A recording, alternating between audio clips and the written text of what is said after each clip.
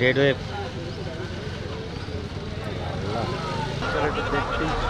জানেন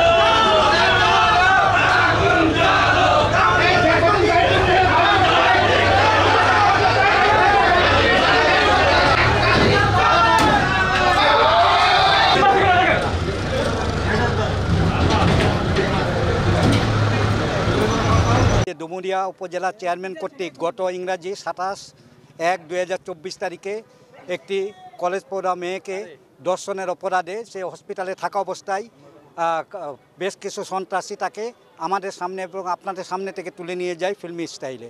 এই ঘটনার পর আমরা যখন মামলা করার উদ্যোগ গ্রহণ করি এবং বিভিন্নভাবে আইনগত সহযোগিতার উদ্যোগ গ্রহণ করি, তখন এই মামলার অর্থাৎ বর্তমান যে মামলায় আসামি নারায়ণবাবু গ্রেপ্তার হয়েছেন। ওই মামলা, ওই ওই আগের ঘটনায় নারায়ণবাবু মন্ত্রী থাকা অবস্থায় অত্যন্ত প্রভাব সৃষ্টি করে মেডিকেল কলেজ হসপিটাল এবং থানা তার নিয়ন্ত্রণে নেয় এবং কোনোভাবে আইনি সহযোগিতা মেয়েটি পায় নাই। পরবর্তীতে যখন পাঁচই আগস্টের পর ক্ষমতার রদবদল হয়, তখন আমরা এই মেয়েটার পক্ষে আবার অবস্থান নিয়ে এবং আদালতে মামলা করি। গোলাম রসুল বাদী হয়ে মামলা করেন ওনার খালাতো ভাই।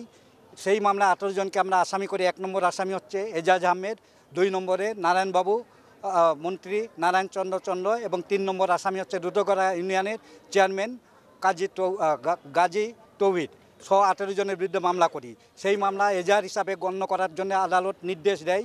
আজকে ওই মামলায় দুইজন আসামিকে বিজ্ঞ আদালতে উপস্থাপন করা হয়, অর্থাৎ সাবেক মন্ত্রী নারায়ণ চন্দ্র চন্দ্র এবং এই মামলার এজাহারভুক্ত আসামি ইমরানকে আদালতে হাজির করে এই মামলায় গ্রেপ্তার হিসাবে দেখাবার আবেদন করেন। বিজ্ঞ আদালত মামলার এজার এবং পুঙ্খানুপুঙ্খভাবে পরীক্ষা নিরীক্ষা করে এই দুইজন আসামিকে এই মামলায় গ্রেপ্তার করে জেল হাজতে প্রেরণ করে এবং আমরা মনে করি যে এই মামলার পরবর্তীতে, এই মামলার যিনি তদন্তকারী কর্মকর্তা, তিনি জিজ্ঞাসাবাদের জন্য কতটুকু প্রভাব সৃষ্টি করেছেন মন্ত্রী অবস্থায়, থানা এবং হসপিটাল সহ সমস্ত ডিপার্টমেন্ট কীভাবে নিয়ন্ত্রণ করেছেন তার লাঠিয়াল বাহিনী, এজাজ এবং তার সঙ্গপাঙ্গকে বাঁচাবার জন্য সেই ব্যাপারে মানে হয়তো তদন্তকারী কর্মকর্তা আগামীতেই তাদের রিমান্ডে নেওয়ার জন্য আবেদন করবে এবং আমরা মনে করি যে রিমান্ডে আসলে আসল তথ্য বেরিয়ে আসবে এবং উনি কীভাবে কতটুকু সহযোগিতা করছেন এবং কীভাবে সহযোগিতা করছেন এইটাও বেরিয়ে আসবে এবং সহযোগী আসামি হিসাবে আমরা এইটুকু বলতে পারি যে আমরা শেষ পর্যন্ত যুদ্ধ করব, এই মামলায় যাতে ন্যায় বিচার নিশ্চিত হয়।